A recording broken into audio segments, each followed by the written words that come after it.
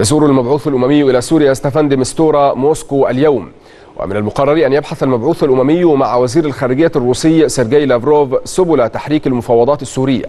تأتي هذه الزيارة في إطار الاتصالات الدائمة مع المبعوث الأممي لتبادل الآراء حول الوضع الحالي في التسوية السورية ومناقشة الخطوات المحددة بشأن تنشيط عملية المفاوضات بين أطراف الأزمة.